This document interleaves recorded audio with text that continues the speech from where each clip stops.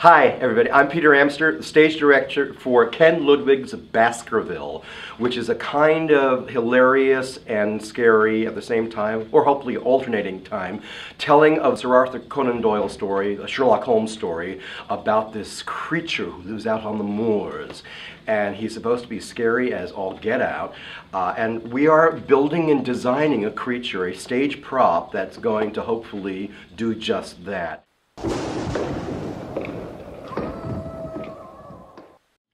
Hi there, my name is Mary Houston. I am the head of the props department here at Syracuse Stage, and I'm here with the Hound from the Hound of the Baskervilles, who we've affectionately named Fluffy.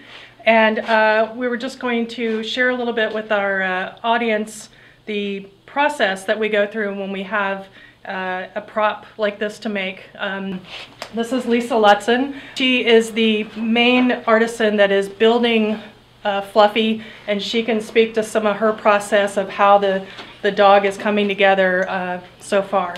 Um, the very first step of the process was building a paper pattern to lay out the basic shape and size of Fluffy. Um, we wanted him to have physical mass but also be very lightweight for the things that we need him to do. His head is made out of a foam form from a taxidermist shop, uh, as well as his teeth and fangs, and eyes and nose. The head shape itself was ordered from Van Dyke's Taxidermy. Um, it was actually the head shape of a black bear as well as the nose. Um, and I've done some shaping underneath his fur to make his head a little bit more dog-like.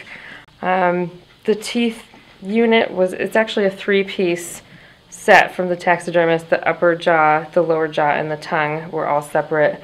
Um, when I installed them in the, the foam head, I did some painting into it um, to make them look a little drooly and kind of gross.